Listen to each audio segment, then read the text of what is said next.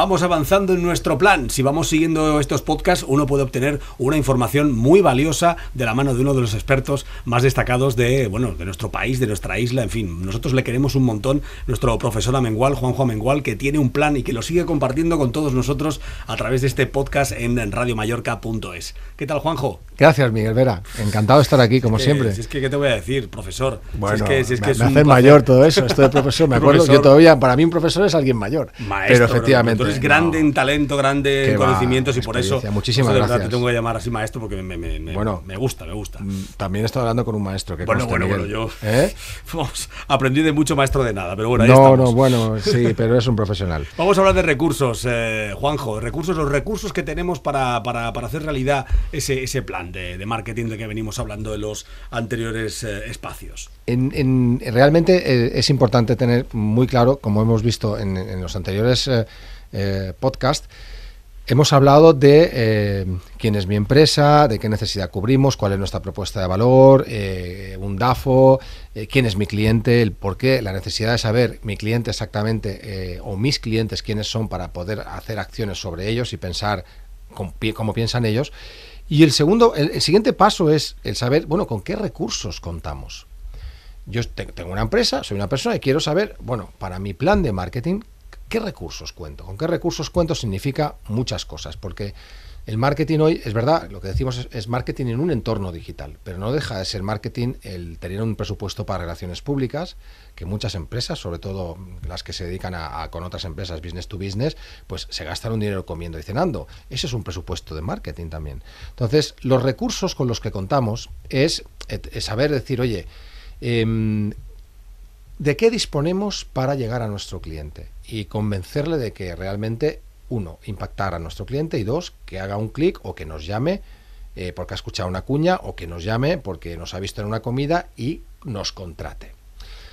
Para mí, el principal recurso de todos que deberíamos tener, y de hecho tenemos, pero desordenado completamente, es la base de datos. El primer recurso con que contamos para nuestro marketing es la base de datos de nuestros clientes. Ojo, como base de datos entra un Excel como si lo, lo tienes en una, en una agenda de papel. Pero lo cierto es que tenemos que tener muy claro quién es nuestro cliente, porque sobre eso vamos a construir nuestro plan de marketing. ¿Y por qué es importante la base de datos como recurso y todos, los tenemos, todos lo tenemos, esa base de datos?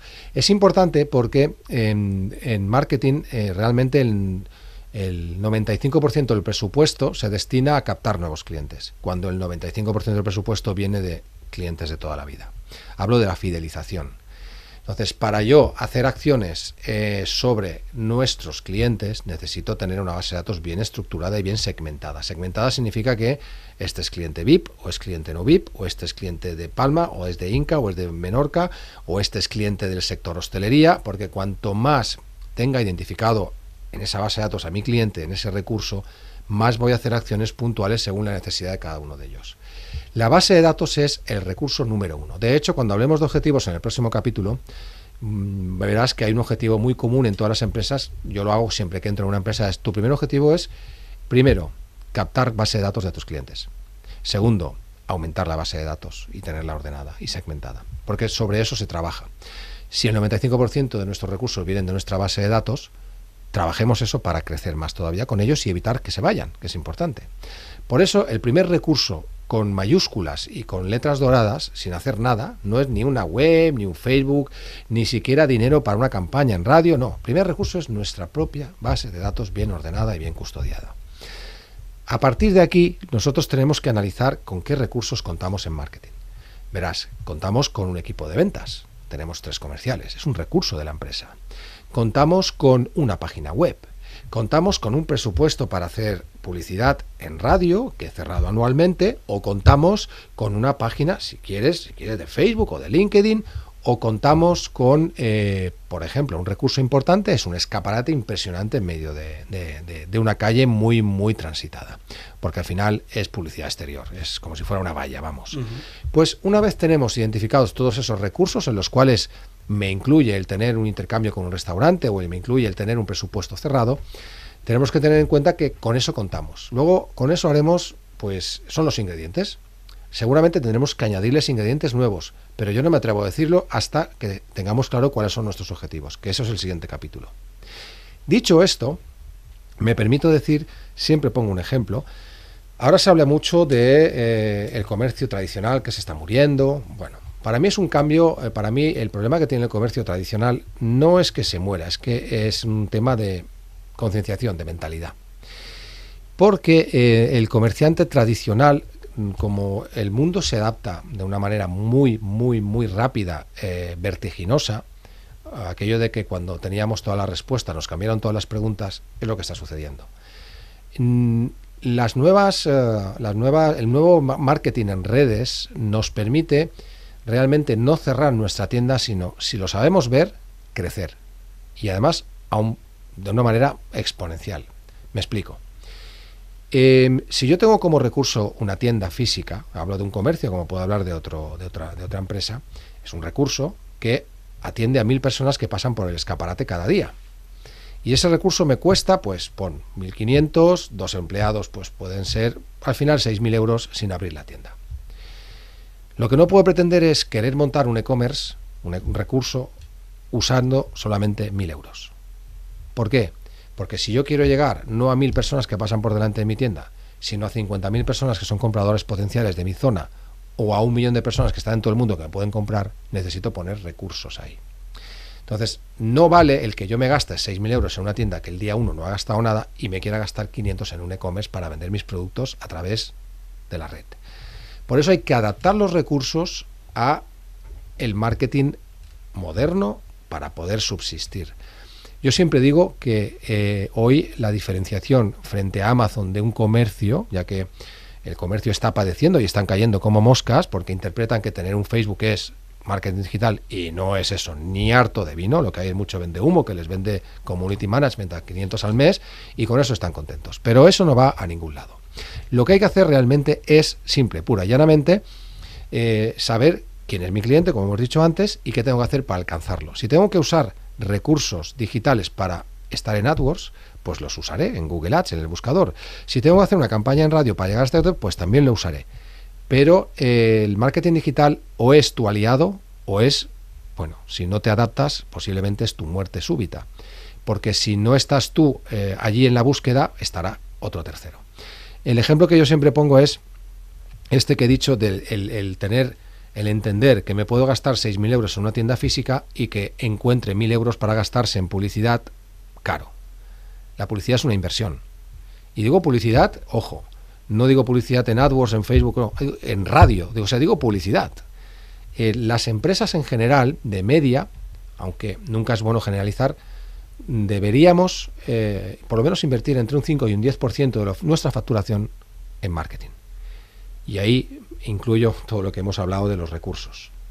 En comidas, en cenas, en actos, en relaciones públicas, en radio, en AdWords y en todo lo que hemos estado hablando, en nuestros recursos y en potenciar hacer crecer nuestra base de datos. Sobre esto, cuando nosotros tengamos claros cuáles son nuestros recursos, veremos qué actividades, qué objetivos tenemos que ponernos, que es importante, que es ponernos una zanahoria adelante para que el asno ande y qué, dónde queremos llegar. A partir de aquí entraremos en hacer realmente el plan de marketing, que son las acciones que tengo que hacer, cuándo tengo que hacerlas para llegar a los objetivos que me he marcado. De objetivos no quiero adelantar nada, pero hay muchos. Hay uno que es seguro, que es hacer crecer nuestra base de datos de clientes. Y por supuesto, captar los bases de datos de nuestros clientes. Te pongo un ejemplo y quiero incidir en el recurso de la base de datos porque hoy el mundo del Big Data es fundamental. Lo vamos a ver en estos capítulos como con una base de datos que es un Excel con emails y nombres, podemos hacer virguerías en la red y fuera de ella. El ejemplo que yo suelo poner es que si yo entro en un establecimiento que es un comercio tradicional o un restaurante, por ejemplo, mezclo el offline con el online, me da igual, y me gasto 20 euros en una comida, el señor de ese establecimiento ha tenido un cliente que se ha gastado 20 euros, pero no sabe ni cómo se llama, ni dónde vive, ni su teléfono, ni su mail. Bien. Nosotros en marketing hablamos del valor del, cliente a largo plazo, el lifetime value, que es el valor del cliente a largo plazo, que es cómo se, cómo se estructura un plan de marketing hoy. Imagínate que yo capto los datos de esa persona que ha venido una vez y se ha gastado 20 euros. Y consigo, a través de la reactivación del cliente, a través de email o a través de enviarle por teléfono algo o de WhatsApp o de llamarle por teléfono, me da igual, y de otras técnicas que iremos hablando, consigo que ese señor vuelva a mi establecimiento. Ya no hablamos de 20 euros. ¿Cuántas veces puedo hacer que vuelva? ¿Cinco? Ya son 100. ¿En cuántos años? ¿En cinco? 100 por 5 ya son 500. El valor del cliente son 500 euros. Todo por tener una base de datos. ¿Qué sucede? Que si me entran 30 tíos en la, en, la, barra o en el bar o en el comercio y yo le pido, por favor, el valor, el, dato vale dinero, ¿eh? hay que darle algo. Oye, si me das, si me das el teléfono, si me das el mail, pues te invito a un café. O si me das el mail, participas en este sorteo. Hay técnicas para eso. Pero si yo consigo un 10% de los 30 que me entran, son 3. Por 20 días son 60. 60 por 12 meses, estamos hablando ya de 700 mails. Con 700 mails yo envío un mail porque ahora son las torradas de San Sebastián cuánto me van a decir que vienen. Es importante usar bien los recursos y tener muy claro que la base de datos de nuestros clientes, captar base de datos, es un recurso que hay que alimentar sí o sí. Los demás, por supuesto, una web porque hay que estar digitalmente presente y otros recursos son el personal adecuado. En eso quiero hacer un pequeño inciso antes de terminar este capítulo de los recursos, que es, como has dicho, soy consultor de marketing, eh, yo he estado dirigiendo departamentos de marketing, eh, me me dirijo siempre al cliente, me dirime al director de marketing con el cual trabajo, o ventas, director de marketing y ventas, o al director comercial. Pero yo siempre les digo una cosa. En marketing, la frase no es mía, por supuesto, pero es una frase que es, que es muy válida. Marketing no es un departamento, es una actitud. Eh, si yo llamo a una empresa y la que me contesta al teléfono dice, días, eh, eso es marketing.